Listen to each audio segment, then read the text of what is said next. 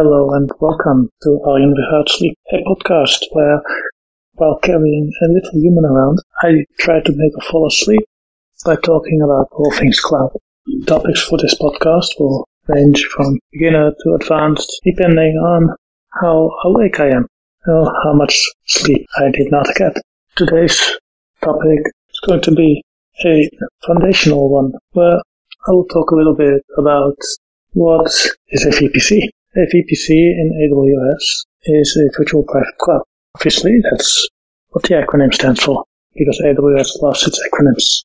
But what is a VPC? A VPC is basically says in the name, sort of like a network, a little network that you can put different kinds of resources in. Most commonly, obviously, that would be EC2 instances or databases running RDS or similar services. Now, a VPC basically consists of different subnets. So, let's take a step back. A VPC is a network link. You give it a size defined by a CIDR range. The CIDR range is something you're probably familiar with, which is the four dot separated numbers that generate an IP address followed by a slash and a block size, where 0 is the highest, is the biggest, and 32 is just a single IP address. In the case of a VPC, biggest size you can get is slash 16. This offers quite a lot of IP addresses, you don't have to worry that we'll run out of them. However, just a VPC doesn't help you in any way. To be able to use a VPC, you have to cut it up into what are known as subnets. These subnets are portions of that CIDR range that you assign to a specific availability zone within your AWS region. Availability zone basically a physical location that consists of one or more data centers run by AWS. Obviously, so as I said, these subnets themselves have a CIDR range which is smaller than the one from the VPC. You can have as many subnets as you wish. They can have different sizes. You can theoretically put them all in the same availability zone, although that would kind of defeat the purpose. Now, there are two different types of subnets. Basically, we call these public subnets and private subnets. A public subnet is directly connected to the internet through an internet gateway. The gateway, well, if we look at our house here, we've got an NBN box that connects to the internet. Think of that as the Internet Gateway. Except that the Internet Gateway is obviously a lot faster. So within a public subnet, if you put anything in there, it needs to get a public IP address. Otherwise, it cannot access anything on the internet, which kind of defeats the purpose of putting it in public subnet in the first place. Now, best practice is that you don't put your instances, and especially not your databases, in a public subnet. Public subnets are mostly meant just for things that need to be available directly from the internet. Think of load balancers and as well the other important word there, uh, NAT gateways or NAT instances. So NAT gateways actually brings us to the other type of subnets, private subnets. A private subnet is a subnet that does not have a direct connection out to the internet. Instead, what it has is a connection to, for example, a NAT gateway. NAT gateway allows a transition from your private network to the public internet. So instead of connecting directly to the internet, all the traffic from private subnet will go through a NAT gateway or NAT instance in the public subnet. This means that private instances do not have their own public IP address. When they make an outbound call, they will get or it will show up as the IP address of the NAT instance or the NAT gateway. I know I've mentioned NAT gateways and NAT instances a lot interchangeably. That's basically because there are two ways to have a NAT happening. NAT Gateway is the managed service from AWS that gives you access to outbound internet. A NAT instance does the same thing, but you manage the instance yourself. There are pros and cons to both solutions, but in most cases, it's easiest to just stick with the NAT gateway. It means you don't have to think about it, you don't have to patch the instances, it will automatically scale, and if you eventually really run into implementations with it, you, well, you'll be running at such a high scale of network traffic, you will likely have or know somebody, have somebody in your team who will be able to deal with that. Okay, so briefly off the VPC, subnets, private subnets, public subnets, but I didn't explain how instances know what to do. Because you can have a public, you can have a public private subnet. Some Metalis and EC2 instance in there actually know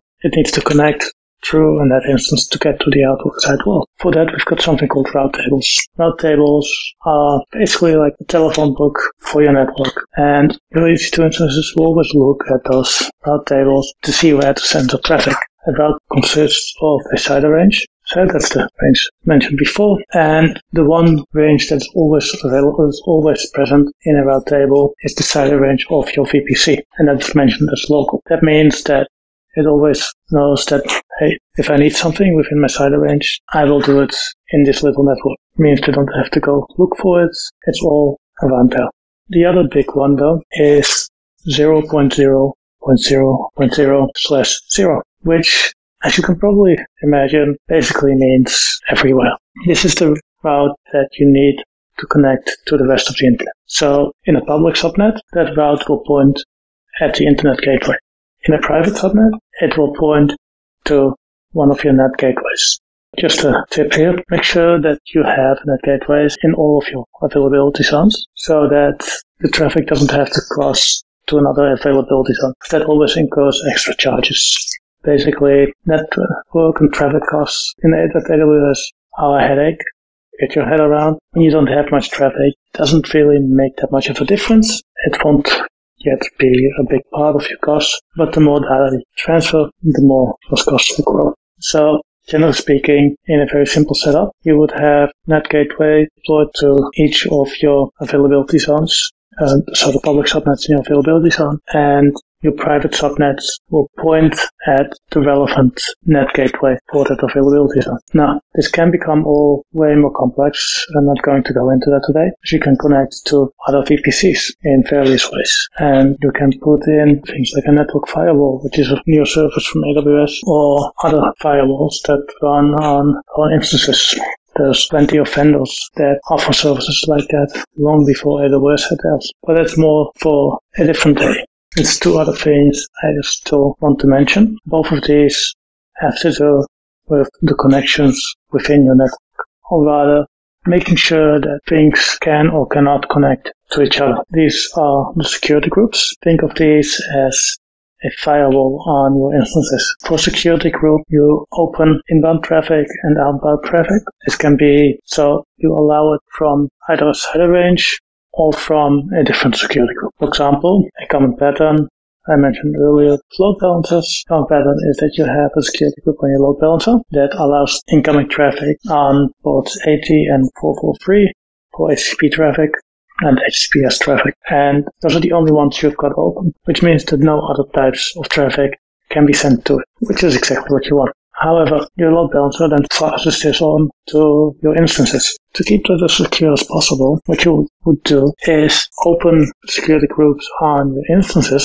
only on the relevant port, which could be port 80, for example, to serve your website, but you will only open that to the security group from your load balancer. That way, that's the only traffic that goes into your instance, and you know it can only come from a load balancer. And on your load balancer, you can have extra measures like a web, web application firewall, or things like that. So there's one layer of protection. Another one are NACLs, Network ACL, Network Access Controllers, however you prefer to call them. These function a bit like security groups, but are at the subnet level instead. So you block things there in a much broader way. This way, for example, you can block access to and from different VPCs. I said I will go through it, but it is one common pattern. By default, when you create everything, these will be open that's another big, that's a big difference as well with security groups. There is of course a lot more to it. This was a basic overview for VPCs. As I am now lucky enough the little girl has fallen asleep, I'm going to put her back in bed and I'll speak to you all next time.